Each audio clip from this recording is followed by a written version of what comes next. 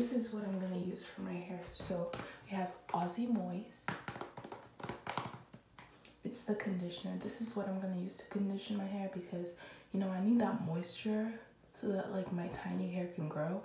Um, then I use Sulfur 8. This this gets rid of dandruff and also like if I use like any Aussie product with a lot of dandruff in my hair, my hair gets all like gunky and gross. So like I need to like use this first because there's a lot of moisture in this and like moisture mixed with dandruff is like not not good. it's not good.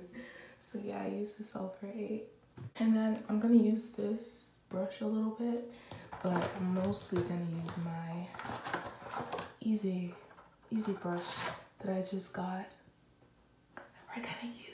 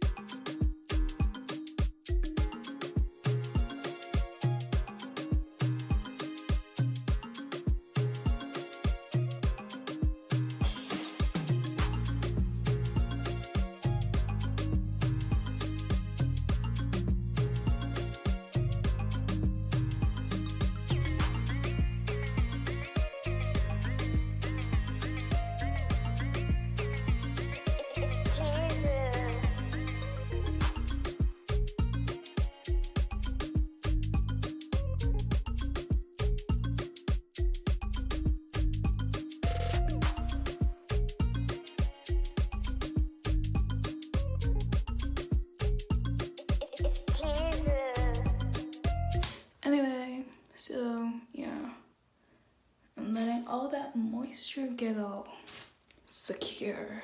We need it secure.